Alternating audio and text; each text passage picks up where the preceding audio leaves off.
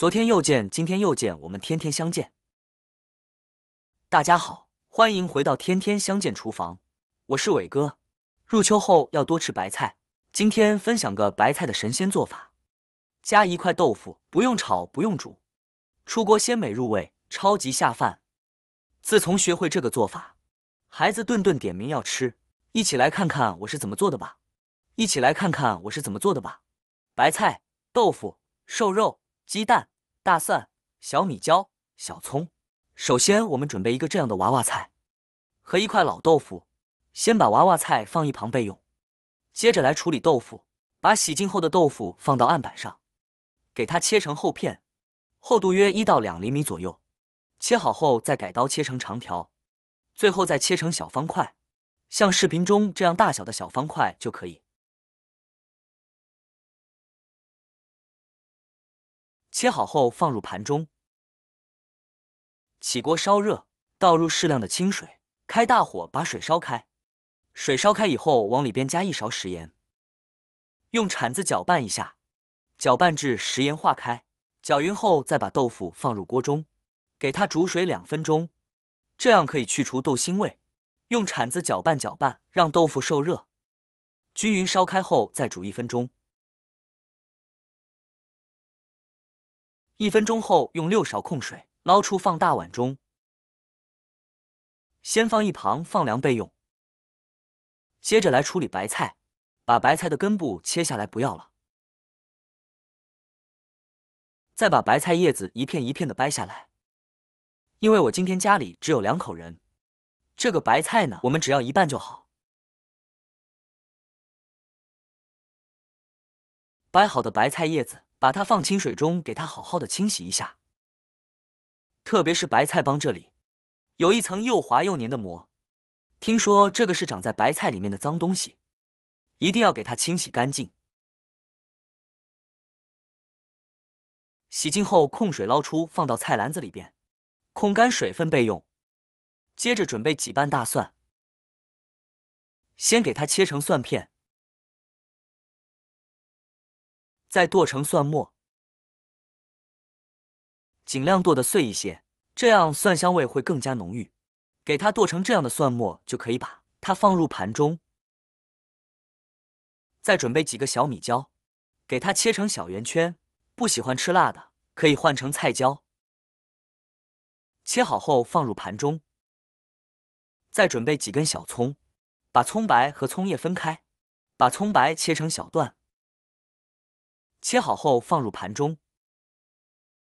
再把葱叶切成葱花，切好后也放入盘中。接着再准备一块瘦肉，大约是两百克左右。先给它切成薄片，尽量切的薄一些。切好后再给它剁成肉末。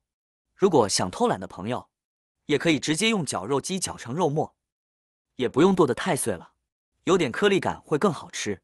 最后剁成这样的肉末，就可以把它装入盘中，放一旁备用。接着我们来调一个料汁，碗中放两勺生抽，加一点点老抽上色，加一勺蚝油，加一勺食盐，加一点点白糖提鲜，加适量的胡椒粉，再加小半碗清水，用勺子搅拌均匀，像这样我们的料汁就调好了。搅匀后放一旁备用。接着准备三个鸡蛋，把它打入小碗中。哇，好幸运，鸡蛋有俩粒蛋黄。如果这时给个赞，愿望一定会实现。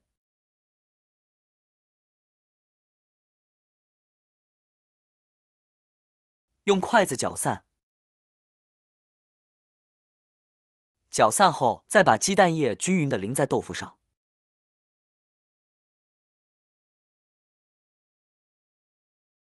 再晃动一下大碗，让每一块豆腐都能裹上一层鸡蛋液，像这样就可以先放一旁备用。